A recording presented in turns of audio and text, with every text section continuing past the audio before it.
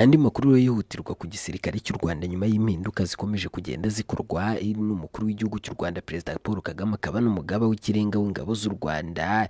Ku munsi wa none yazamuye mu ntera abandi bofisiye basaga magana atandatu mirongo itanu na bane ba RDF nyuma y'iyirukanwa ry'abofisiye bato ndetse n'abakomeye muri RDF riheruka nanone nyuma y'ishyirwa mu kiruhuko cy'izabukuru nanone cy'abandi bofisiye bakuru ndetse n'abakomeye mu gisirikare cya RDF nanone nyuma yaho yari amaze kwirukana bamwe mu bajenerali batandukanye muri iki gisirikare. Ni perezida wa repubulika akaba n'umugaba w'ikirenga w'ingabo z'u Rwanda RDF Paul Kagame uyu wazamuye mu ntera abofisiye magana atandatu mirongo itanu na bane barimo babiri.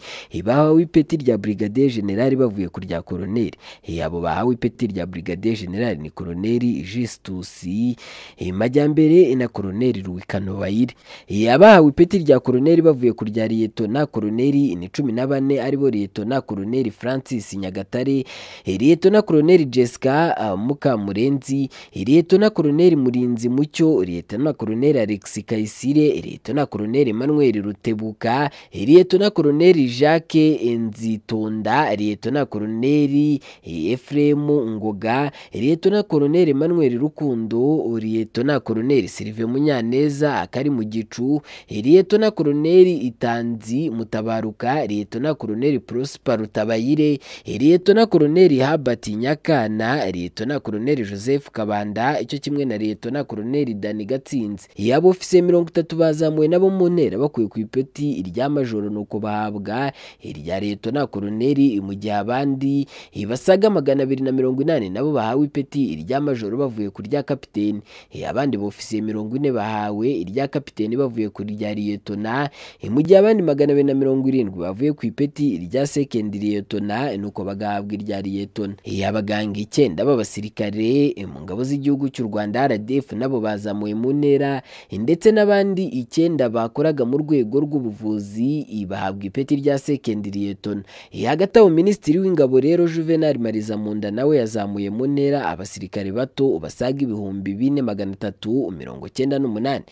Abo bari umwe wari warrant officer wa kabiri wazamuwe mu ntera nuko akagirwa warrant officer wa mbere mu gihe batanu bavuye ku ipeti rya serija majoro nuko bagahabwa warrant officer kabiri.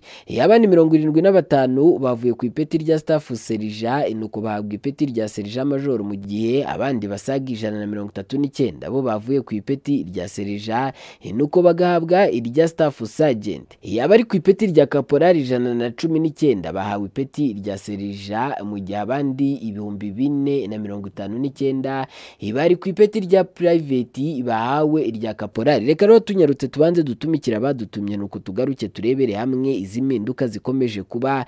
Mu gisirikare cy'u Rwanda RDF nyuma y'inama yateranyijwe n'umukuru w'igihugu cy'u Rwanda perezida Paul Kagame akaba n'umugaba w'ikirenga w'ingabo z'u Rwanda ku nsanganyamatsiko umutekano w'igihugu. Kwita ku magara ni igisobanuro cyiza cy'ubuzima bwiza. Ku bw'iyo mpamvu rero habonetse muganga gakondo ugufasha gusigasira amagara yawe. Ukabaho neza kandi utekanye. Tuvura amarozi y'ubwoko bwose inzoka zo mu nda nka amibe dukongora inyatsi tukirukana za karande.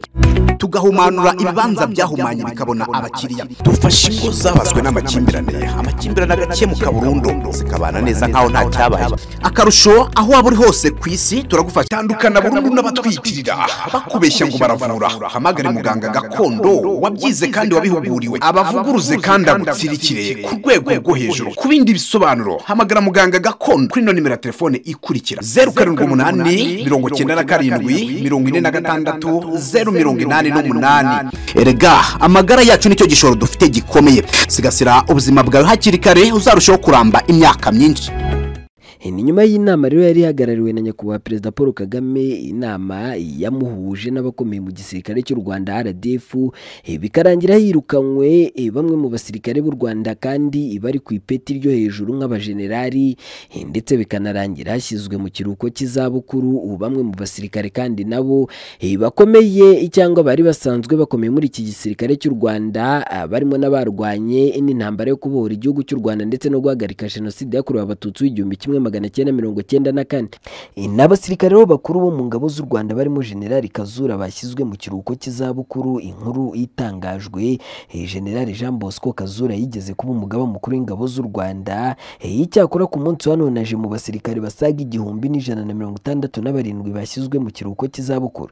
Itangaza ibiro by'igisirikare cy'u rwanda rdf bashyize hanze. Mu masaha make rivuga ko umukuru w'igihugu cy'u rwanda perezida paul kagame akaba n'umugaba w'ikirenga w'ingabo z'u rwanda. Yemeje ko abasirikare barimo generali jean bosco kazura n'abandi bane bafite ipeti rya brigadier generali bajya mu kiruhuko cy'izabukuru. Yabo ni generali jean bagabo brigadier generali jean bosco rutikanga na brigadier generali jean hodari. Icyo kimwe na brigadier generali filimini bayingana. Iyi perezida kagame yemeje kandi abandi baofisiye bakuru basaga ijana na mirongo irindwi n'abandi basirikare bafite amapeti atandukanye magana cyenda mirongo cyenda na babiri bajya mu kiruhuko cy'izabukuru. Iyi generali kazura n'umwe mu bagiye mu kiruhuko cy'izabukuru akaba yarabaye umuyobozi mukuru w'ingabo z'u rwanda mu myaka myinshi yashize kuko kuva mu kwezi kwa cumi na kumwe muri bibiri na cumi n'icyenda kugeza mu kwezi kwa gatandatu umwaka w'ibihumbi bibiri na makumyabiri na gatatu yari umugaba mukuru w'ingabo z'u rwanda.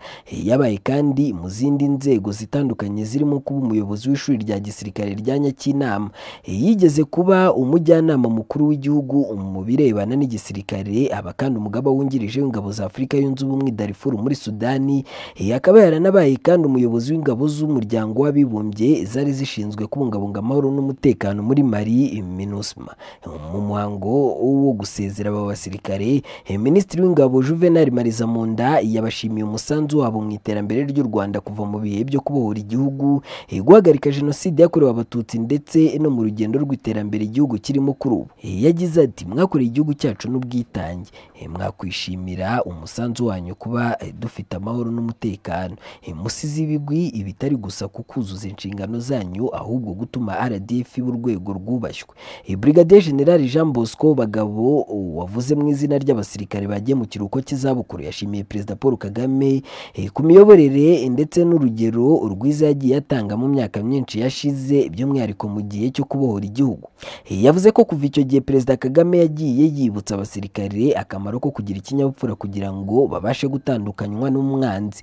Ati ayo mahame yatugumyemo kandi azakomeza kuranga ibikorwa byacu. Mu gihe tugiye gutabara dushimiye icyubahiro twahawe dusezerwa. Turasaba ubuyobozi bwacu uyu munsi gushyikiriza umugaba w'ikirenga w'ingabo z'u rwanda ubutumwa bwacu bw'uko tuzakomeza kwita ndetse no kurinda ibyo twaharaniye mu myaka ya mbere cyangwa imyaka yashize. Ni nyuma rero y'inama idasanzwe iheruka guhuza perezida paul kagame akaba umugaba w'ikirenga w'ingabo z'u rwanda ubwo yahuraga n'abasirikare bakuru mu ngabo z'u rwanda bakaganira ku kamaro k'umutekano ndetse n'ibindi by'igihugu. Perezida kagame nk'ibisanzwe asanzwe ahura n'abasirikare bakuru mu rwego rwo kuganira ku mutekano w'u rwanda cyane nko mu nshingano ze ko harimo no kurinda ubusigire bw'igihugu cy'u rwanda. Umutekano w'u rwanda urizewe gusa kenshi hagiye humvikana bafite umugambi wo kuwuhungabanya ndetse bakanabigerageza uretse ko byarangiraga batageze ku ntego zabo. Uburasirazuba rero bwa repubulika ya demokarasi ya kongo kuri ubu ni kimwe mu gice giteye inkeke cyane ku mutekano w'u rwanda cyane ko iki gice gicumbikiye umutwe w'iterabwoba wa fdr u rwanda ruvuga ko ugizwe n'abasize bakoze jenoside mu rwanda w'igihumbi kimwe magana cyenda mirongo cyenda na kane. Uyu mutwe rero uterwa inkunga na leta ya repubulika ya demokarasi ya kongo nk'uko byagiye bigaragara ndetse n'umukuru w'igihugu cya kongo perezida tisekedi yigeze gutangaza ko azatera u rwanda ibyumvikanisha uburyo hari abifuza guhungabanya umutekano w'u rwanda nubwo batabigeraho. Aka gace rero kagiye kifashishwa cyane n'abashaka guhungabanya umutekano w'u rwanda cyane ko ari agace repubulika ya demokarasi ya kongo idafite ubushobozi mu bijyanye n'imiyoborere ku buryo nyuma y'igihe kitari kinini cyane havutse imitwe myinshi y'abagizi ba nabi. Ku buryo abashaka guhungabanya umutekano w'u rwanda bahabona nk'ahantu habaha amahirwe yo kurema umutwe ugamije guhungabanya umutekano w'u rwanda kandi bakabikora bikavamo. Ni muri urwo rwego rero umukuru w'igihugu cy'u rwanda perezida paul kagame yateranije mbene iyi nama n'abakomeye mu gisirikare cy'u rwanda rdf mu rwego rwo kugira ngo barebe uko umutekano w'u rwanda wifashe cyane nko muri iyi minsi u rwanda rukomeje kurebana ingwe na repubulika ya demokarasi ya kongo. Ni perezida wa repubulika y'u rwanda paul kagame akaba n'umugaba w'ikirenga w'ingabo z'u rwanda. Uyu waraye yirukanye abasirikare bakuru barimo generali majoro martin nzaramba. Nzaramba Colonel Etienne Uwimana n'abandi bofisiye basaga cumi n'icyenda bakuru ndetse n'abato. General Major Martin Nzaramba yavutse igihumbi kimwe magana cyenda mirongo itandatu na karindwi mu gace ka Mpigi muri Uganda. Aho umuryango we wari warahungiye akaba yarigeze no kuba umuyobozi w'ikigo cy'ishuri rya gisirikare cya Ntajo Colonel Etienne Uwimana we yari asanzwe ari umuganga ndetse yamaze igihe avura mu bitaro bya gisirikare bya Kanombe. Mu mwaka w'ibihumbi bibiri na makumyabiri yari yagizwe umuyobozi w'ishami rishinzwe serivisi zo gucisha abantu mu cyuma mu bitaro bya gisirikare by'i Kanombe. Itangazo rero ryashyizwe hanze n'igisirikare cy'u Rwanda mu rukerera rwo ku munsi wa none ku wa gatanu rivuga ko umugaba w'ikirenga w'ingabo z'u Rwanda Paul Kagame yatanze kandi uburenganzira bwo kwirukana ndetse no gusesa amasezerano y'abandi basirikare ijana na mirongo icyenda na batanu bafite amapeti atandukanye. Ntabwo higezwe hatangazwa impamvu aba basirikare bakuru birukanwe gusa amategeko ya RDF agena ko umuntu wese ukora ibikorwa bitesha agaciro umwuga wa gisirikare birimo ubusinzi bukabije cyangwa se ibitesha agaciro umwuga wa gisirikare ariko byatuma akurikiranwa mu nkiko za gisirikare nko gukoresha ibiyobyabwenge ubujura n'ibindi agomba guhita yirukanwa. Mu mpamvu zituma rero umusirikare yirukanwa mu gisirikare harimo amakosa akomeye ajyanye no kuba atubahirije indangagaciro za gisirikare. Harimo nko kutarangwa n'indangagaciro z'ingabo z'u Rwanda zirimo kuba umuntu agomba kubaha inzego za gisirikare. Umusirikare wagaragareho rero ruswa cyangwa amacakubiri amatiku kure mu duce ndetse n'ibindi nawe ashobora kwirukanwa kandi bitabanje kugirwaho inama. Gusesa amasezerano mu gisirikare bibaho iyo umukoresha abonye ko nta mpamvu yakomeza kuyubahiriza cyane cyane biturutse ku myitwarire idahwitse. Ibi rero byatumye umukuru w'igihugu cy'u Rwanda Paul Kagame yirukana mbene aba basirikare batandukanye mu ngabo z'u Rwanda RDF ni nyuma rero y'inama y'igitaraganya yari ayiteranye ku mugoroba wa none inama yahuje umukuru w'igihugu cy'u Rwanda Perezida Paul Kagame ndetse n'abakomeye mu ngabo z'u Rwanda RDF barimo n'umugaba mukuru w'ingabo z'u Rwanda General Major Mubaraka Muganga.